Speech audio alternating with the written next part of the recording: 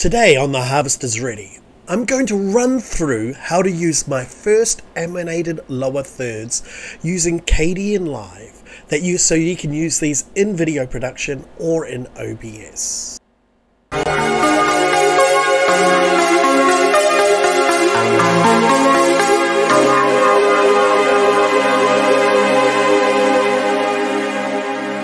Welcome to The Harvest is Ready. My name is Stephen, and I hope you all are being empowered by God.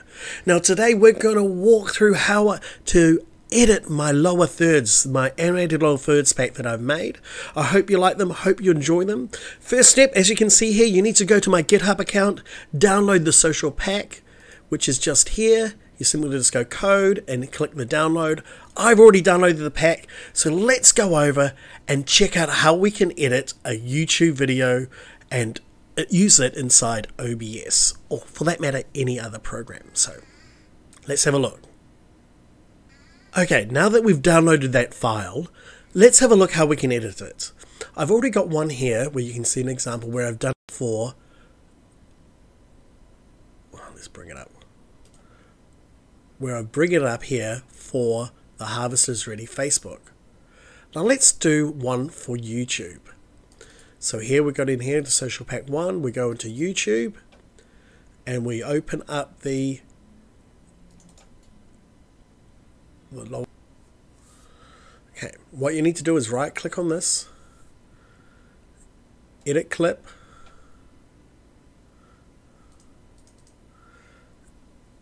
and for my YouTube channel I've got a shortcut link so I go y2 yt dot the harvest oh.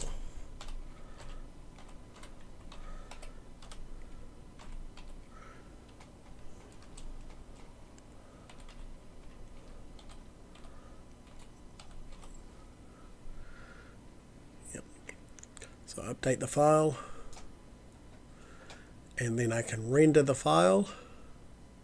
We're going to make sure that we're using the alpha channel so that the black background turns to transparent. So we want to, I want to copy that.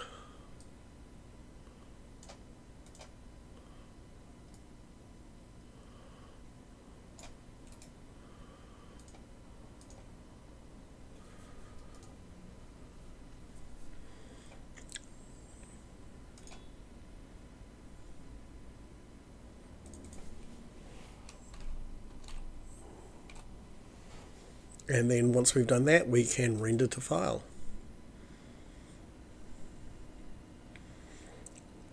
So it's quite simple.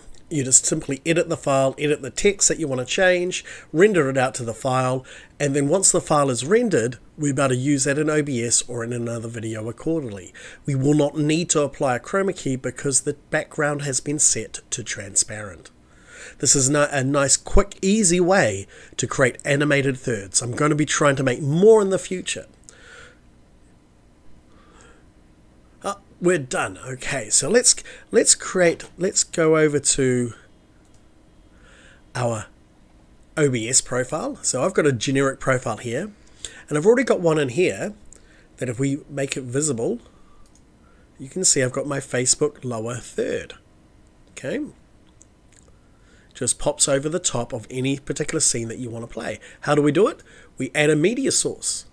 So we're going to add in another one. So I'll just go OK.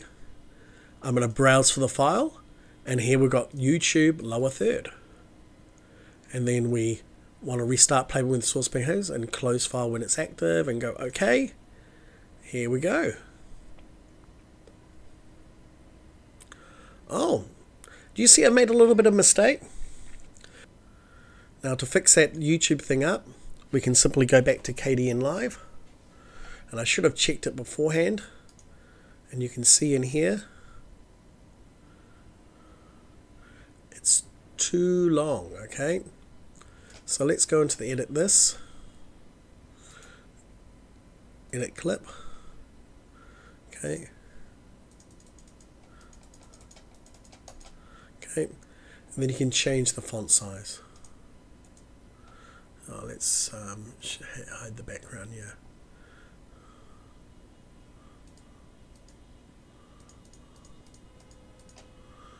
Let's show show the background quickly.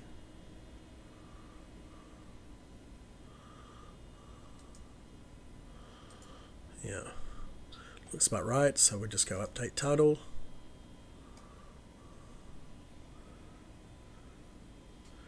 Yeah, that looks pretty good. Let's see if we can make this a little bit bigger. Yeah, there we go. So if I render to file,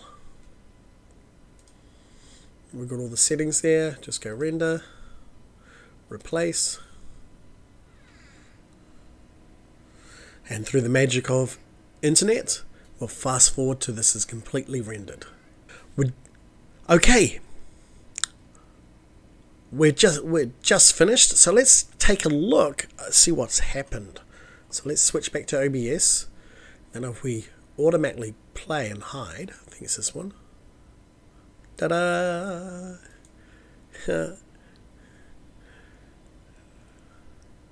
okay.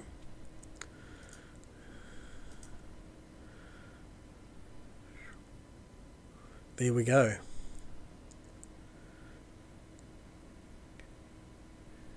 So there we have it. Animated lower thirds that we can use in open source software, particularly Kdenlive. So all you have to do, download the pack, edit the the edit this file that's in the uh, KDN project file, and render it out, and then you just add a media source, and then you can get lovely lower thirds. So don't forget to like, comment, and subscribe on YouTube. And of course, you don't want to forget about following me on Facebook. So you can follow me on Facebook at The Harvest is Ready. So, as usual, we've come to the end of another video and hope you have a blessed week and be empowered by God.